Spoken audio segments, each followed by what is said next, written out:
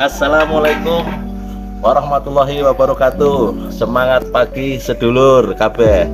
Kami dari Sivitas Akademika Universitas Alirsat Cilacap mengucapkan selamat ulang tahun ke-98 bagi saudara kita RSUD Banyumas. RSUD Banyumas merupakan rumah kedua bagi mahasiswa kami ketika mereka menjalani praktek lapangan. Dan RSUD Banyumas merupakan kawah cadar muka bagi para mahasiswa kami. Oleh karena itu, kami mengucapkan terima kasih yang sebanyak-banyaknya kepada RSUD Banyumas. Terakhir, saya akan memberikan pantun kepada RSUD Banyumas. Tuku beras, ambi mama ke Dimas. Sehat waras bersama RSUD Banyumas.